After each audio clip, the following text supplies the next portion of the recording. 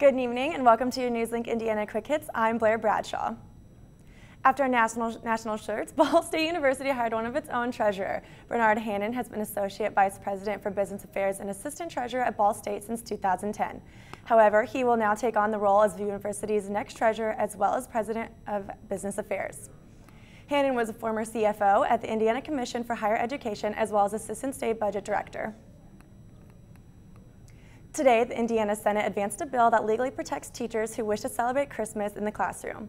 The bill allows schools to have nativity scenes, history lessons about winter holidays, and greetings such as Merry Christmas and Happy Hanukkah, as long as other holidays are recognized as well.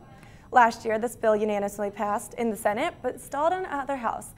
Sen Senator James Smith of Charlestown hopes to be more successful this time around.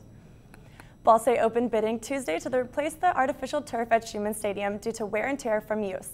The turf was installed eight years ago by artificial surface maker Field Turf and was expected to last 10 years. The warranty doesn't expire until June.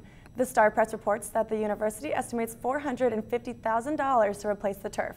The school has received five bids. Field Turf has the lowest bid around $386,000. And Ball State President Paul Ferguson will be making his first State of the University address this Friday at 3. The speech will be at Emens Auditorium. Don't forget to tune into Newslink Indiana again tonight at 9 p.m. on Cardinal Vision. And be sure to stay up to date with us on Facebook and Twitter. For Newslink Indiana, I'm Blaire Bradshaw. Good night.